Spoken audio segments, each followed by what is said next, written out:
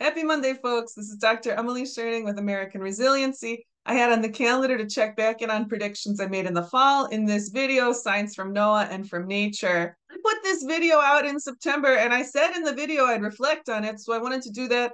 And I want to talk a little bit about sources of knowledge. I want to share with you one of the most beautiful syntheses of knowledge sources I've seen in all of my working years. We'll get to this in a little bit. Let's do a reality check first, follow up on my winter predictions.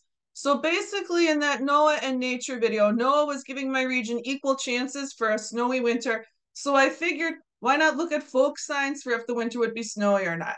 I showed away a lot of my fall bearing fruit and nut trees were bearing really heavy. That's the folk tradition I was taught through my maternal line to look at fall bearing fruits to judge the intensity of snow and cold in the coming winter. And looking back on it, that was a weird winter. In Iowa, this last winter was our warmest winter ever, but it did also have a winter intensity that set cold records across the state. It was such a notable cold event that you can see NOAA made a page for it. At my place, you can see there's snow drifts all the way up to this eight foot tall fence here. And all throughout the yard, it was at least three or four feet.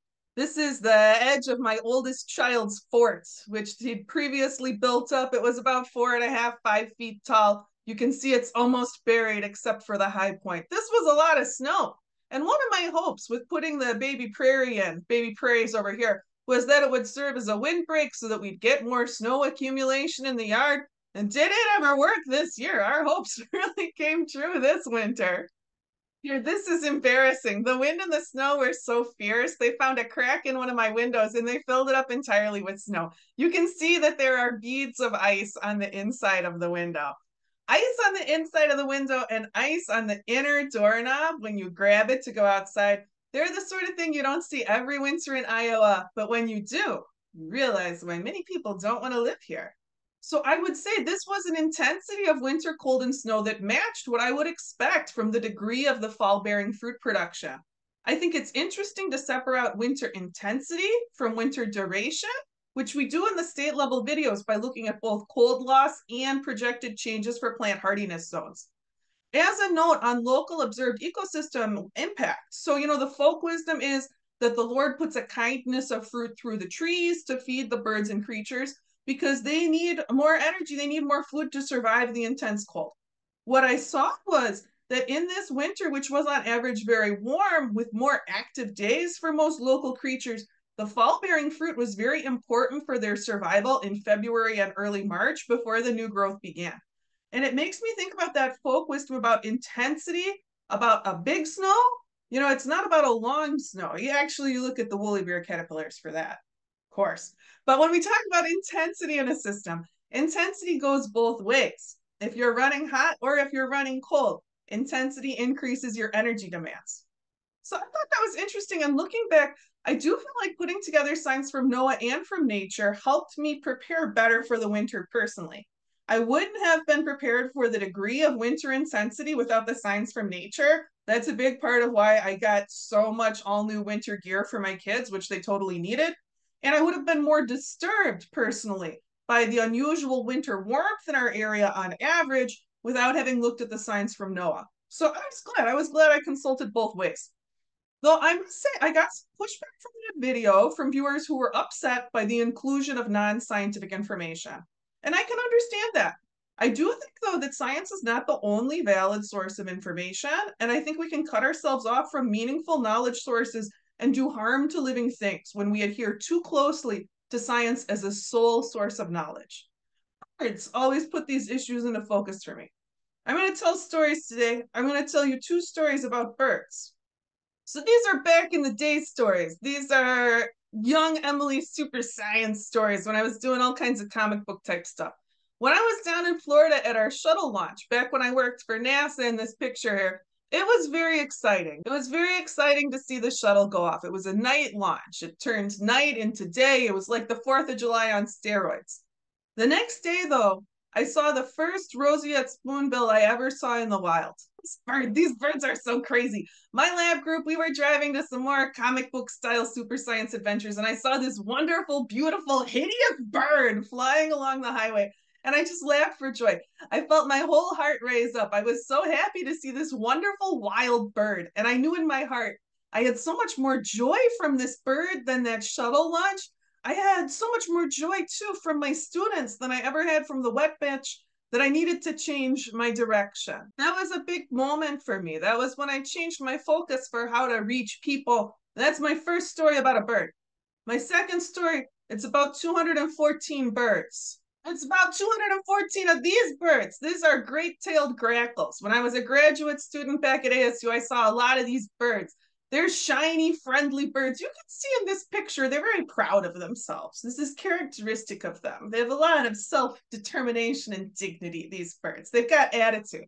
I used to eat my lunch outside and watch these birds very engaged in their bird drama. The males, of course, in birds, particularly dramatic and beautiful, it was very easy to tell who was the king of the birds in any particular part of campus. One of my friends came to me one day. She said, Hey, you love those grackles. I see you watching them all the time. Come see my lab mate's thesis presentation. So I go along with her. It's a presentation where her lab mate has proven that the shiniest grackles have the best reproductive fitness because they have the biggest testicles.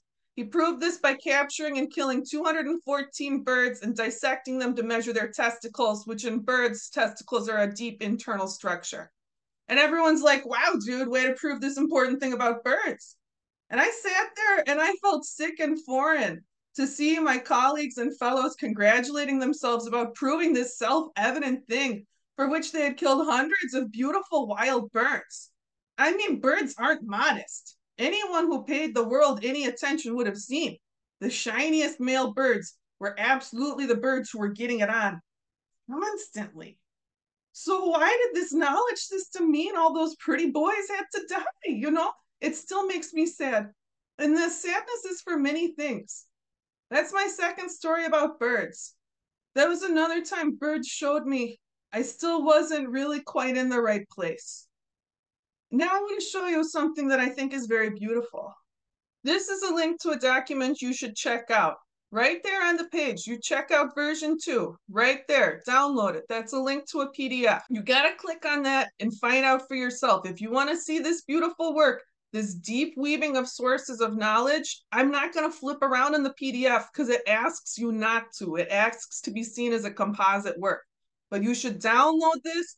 You should read the introduction. And then you should look at the depth of the hardcore science and deep wisdom traditions being fused in this document. Recently, I went to a talk that incorporated this document. You can watch it on YouTube here you can see this is the kind of video quality I really vibe with if you've spent some time on the channel here. This is a virtual program from the 1854 Ceded Territory Group. They're doing climate change adaptation planning. This is a cool video. It's a cool space to be in. If you get into that space, if you can go there, you want to learn, you want to listen, folks from many tribal and scientific entities are sharing knowledge, putting together the vulnerability assessment with the sort of projection figures I use to put together state level outlooks. The folks there, they're doing this so that they can think in detail about how the changes will affect us all. And I mean us all, all living creatures. These are good places to go to sit and listen and take in some wisdom. I consider this space I showed here, that online space there, to be on the cutting edge of innovation. The Anishinaabe have pushed the front forward on climate work for a long time. For many, many decades, the Anishinaabe have pushed the front first. And now that they are putting together this vulnerability assessment with projection data, I think that they are showing us a powerful new approach to get on the right path. I strongly encourage you to take up further learning on these sources I'm sharing today. When I go to these things, I feel like maybe it helps me see the right path because this is a path where I know other people who are looking at these things, they also see the birds and they take joy in them and they see them as our fellow living things, as our fellows, that they matter, that they're not rightly secondary to us in our personal concerns, that they're part of our personal concerns. In these years of change, it's important to stay alert and take in new information. I know some of you on the channel here will be irritated by the fact that I am acknowledging a synthesis source a source that starts with prophetic tradition, if you read the first page, as what I believe to be the most cutting edge work in the field today. and I welcome your critique. I know also that some of you here on the channel, you don't really trust science and you're here with a very skeptical eye, which is good because science is a tool. I myself, I was really bothered by those trust the science flags during COVID because science is a process, science is a tool. And when you make science into your religion, it's about as internally consistent as worshiping a hammer. For those of you who are willing to consider science as an important source of knowledge as you make decisions about the future, I feel like it's worth acknowledging to you, saying out loud that I am a scientist and that I don't think science should be the only tool we keep in the box. I think we need to look at the paths forward, at getting on the right path. And you got to keep your heart open in these times of change. An open mind is good too, but as they say, not so open your brain falls out. It's hard to figure out the right path. I just wanted to talk about it a little. You go download that PDF and poke around in there a little.